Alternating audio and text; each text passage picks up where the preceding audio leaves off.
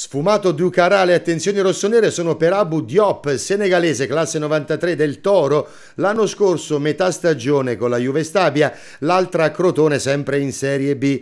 Continua a piacere Ettore Mendicino per rinforzare un reparto che dopo l'era di Leonardo Pavoletti ha accusato l'assenza di un attaccante prolifico. Gli affari si potrebbero concludere anche se la società rossonera è rimasta spiazzata dall'improvviso dietrofront di Ducarà, prima scelta a un passo dalla firma e poi a Leeds di Cellino in Inghilterra.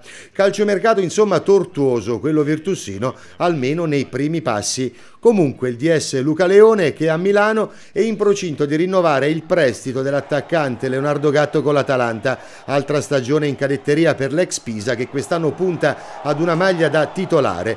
Volto nuovo l'esterno Andrea Conti, addirittura d'arrivo altra ipotesi, quella del centrocampista classe 93 Davide Agazzi di proprietà dell'Atalanta, reduce dall'esperienza a Savona.